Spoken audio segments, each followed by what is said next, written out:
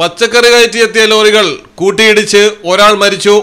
മൂന്ന് വാഹനങ്ങളാണ് അപകടത്തിൽപ്പെട്ടത്. തൃശൂർ പട്ടിക്കാട് ദേശീയപാതയിലാണ് ദുരന്തം. തമിഴ്നാട്ടിൽ നിന്നും കായ കയറ്റി വന്ന മിനി ലോറിയുടെ ഡ്രൈവർ തമിഴ്നാട് ഗോപിച്ചെട്ടിപ്പാളയം സ്വദേശി ഇരുപത്തിയേഴ് വയസ്സുള്ള മോഹൻരാജാണ് മരിച്ചത്. രണ്ട് മിനി ലോറികളും ഒരു ചരക്ക് ലോറിയുമാണ് അപകടത്തിൽപ്പെട്ടത്.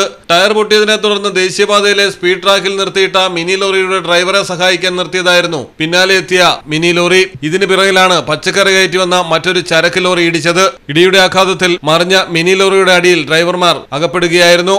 പീച്ചി പോലീസും ഹൈവേ പോലീസും നാട്ടുകാരും ചേർന്നാണ് രക്ഷാപ്രവർത്തനം നടത്തിയത്. മൂന്ന് ഡ്രൈവർമാരെയും തൃശൂരിലെ സ്വകാര്യ ആശുപത്രിയിൽ എത്തിച്ചെങ്കിലും മോഹൻരാജ് മരണപ്പെടുകയായിരുന്നു. മലയാളം ടെലിവിഷൻ തൃശൂർ. അക്കരയുടെ പൈതൃകം ഇക്കരയുടെ കൗതുകം അൽ ദാൻ അറേബ്യൻ ബേക്സ്. മനസ്സും വയറും ഒരുപോലെ നിറയ്ക്കാം. രുചികരവും ആരോഗ്യപ്രദവുമായ അൽ ദാൻ ലബനീസ് കുബൂസ് ഇപ്പോൾ കേരളത്തിൽ എവിടെയും ലഭ്യമാണ്. ഷുഗർകാർക്കായി ഷുഗർ ഫ്രീ ബ്രൗൺ കുബൂസും ലഭ്യമാണ്. കൂടാതെ bread wheat bread burger bun സമൂൺ chapati parotta cream bun coconut bun rusk. ഷവർമയ്ക്കായി ഉപയോഗിക്കുന്ന ചെറിയ ലബനീസ് കുബൂസും ഇപ്പോൾ മാർക്കറ്റിൽ ലഭ്യമാണ്.